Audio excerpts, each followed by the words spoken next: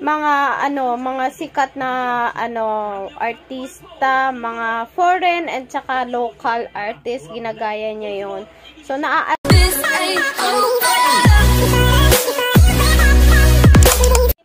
Hello mga chubbies! Ayan, welcome to another vlog and uh, sana hindi ako magbablog ngayong araw. Kaya, kaya nanonood lang ako ng mga videos, mga vlogger.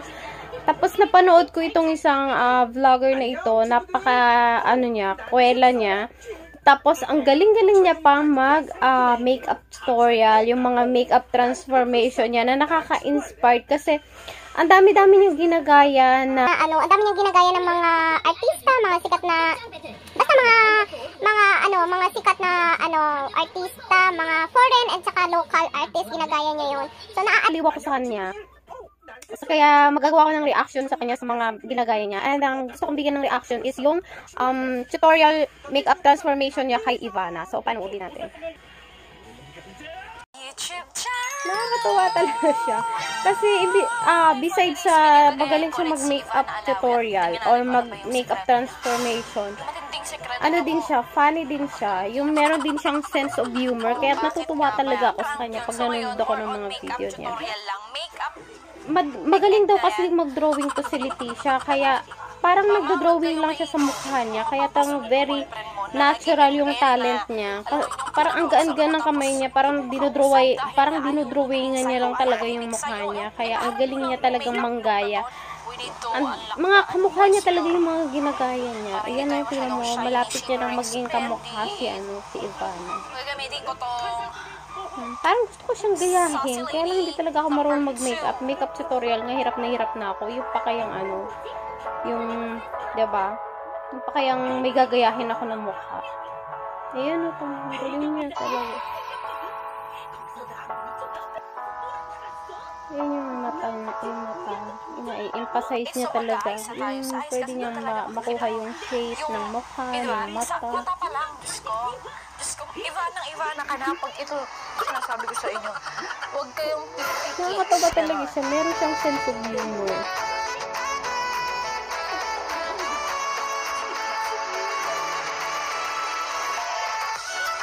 Saan kunin natin tong from CoverGirl True Naked, itong shade na to. Galing mo.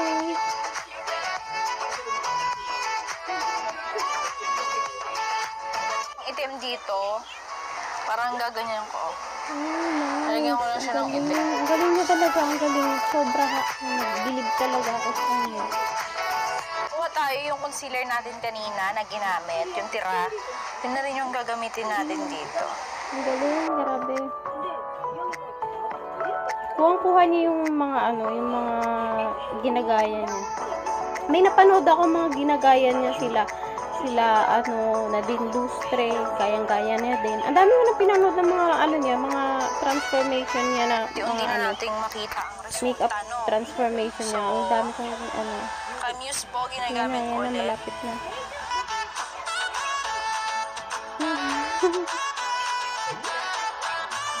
galing niya talaga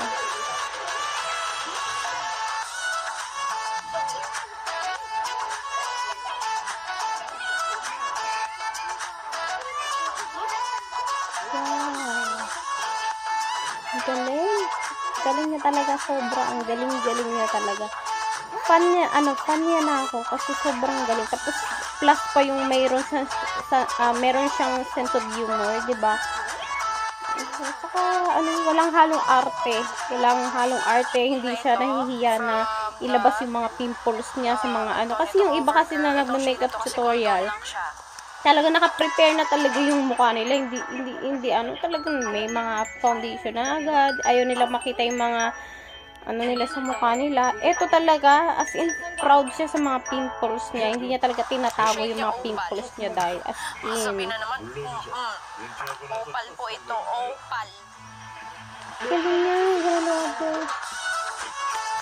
Galing. Bilib ako sa talent niya itong bata na to. Kaya naman, di ba, ang bilis niya talaga na parang first video niya, nasa 800 pa lang, 800,000 yung subscriber niya. Ngayon, malapit na siya mag 1 million. As in, nakikita ko yung mga video niya na ano, ginagaya niya. And pinaka nagustuhan ko sa mga ginaya niya is si yung ano, yung video ni Ivana. Yun talaga yung gustong gusto ko sa kanya na nakuha niya na talagang perfect kamukhang kamukha niya. Malayo yung mararating niya itong bata na to. Sobrang ganda ng talent niya. Tapos plus komedyante siya. Sobra. Nakakaaliw siyang panoorin. Grabe.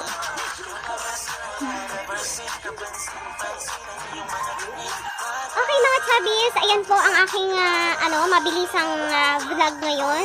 And supportahan po natin tong bata na to. Siyempre, supportahan nyo rin ako, di ba?